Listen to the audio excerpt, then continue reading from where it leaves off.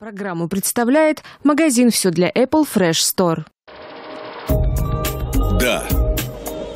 Деловая аннотация. Добрый день. Это Ксения Шамова, программа «Да. Деловая аннотация», где я рассказываю о бизнес-литературе, на которую больше всего обратила внимание и смогла применить полученную информацию на практике. Моя деятельность связана с организацией деловых мероприятий. Кроме саморазвития, всегда ищешь, кто в этой отрасли обучает. И с жаждой получения новых знаний я оказалась в Санкт-Петербурге на форуме об организации и продвижении событий Sold Out, где и познакомилась с авторами книги Натальей Франкель и Дмитрием Румянцевым. Ивент-маркетинг – все об организации и продвижении событий. Рекомендованный возраст – 16+.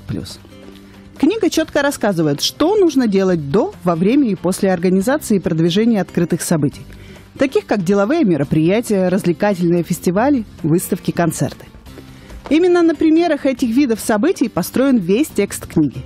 Но зная основу, вы можете масштабировать и на другие виды ивентов. Так, чтобы наш рассказ был максимально полезным, подумайте о ближайшем собственном событии – Например, полезный корпоратив, который решает HR-задачу, или создание клиентского дня. Первое – это определиться с видом и монетизацией, или простым языком, кто за это будет платить. Второе – это подготовка мероприятия. Авторы книги этот блок сразу начали с ошибок, которые возникают на первом этапе. Так как многое кажется неочевидным, пока не столкнешься с деталями. Главное, с какой командой вы это будете делать чтобы за неделю до события у вас не возникло ощущение, что профокапили все. Кто будет у вас выступать на сцене? Кто даст вашему ивенту важную и полезную информацию составляющую? На кого люди придут? В книге предложено четыре варианта, как выбрать нужного спикера. Если у вас будут партнеры на мероприятии, подготовьте заранее варианты взаимодействия с аудиторией на этом событии и стоимость партнерского пакета – Давайте без иллюзий. Фотограф и видеооператор нужен на любом мероприятии. Даже бесплатном или бюджетном, или самом маленьком. Как минимум, потому что потом это все рассказывает о вашем событии, аудитории и организаторе. Выбирая место проведения, оцените вместимость зала и сколько гостей планируется. Проверьте техническое оснащение событий, микрофоны и другое звуковое оборудование. Третье. Продвижение события.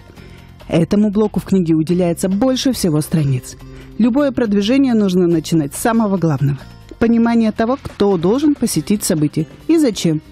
Выбирать максимально персонализированные, а главное – измеримые каналы продвижения. Четвертое.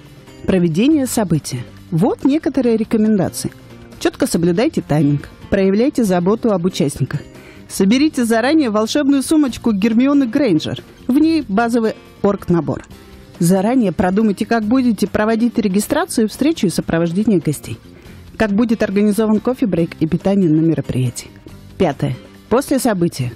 Мероприятие для гостей закончилось, но у организатора еще много действий. Собрать отзывы, а раздать участникам вещи, которые оставляют. Поблагодарить партнеров, спикеров, команду. И проанализировать ошибки и получить обратную связь. Сегодня мы познакомились с книгой Натальи Франкель и Дмитрия Румянцева – ивент-маркетинг. Все об организации и продвижении событий. А у меня для вас подарок. Напишите мне Ксении Шамовой в личном сообщении ВКонтакте. Хочу чек-лист по организации мероприятий малобюджетным способом. Я вам его отправлю. Да будет с вами Sold Out. Да, деловая аннотация –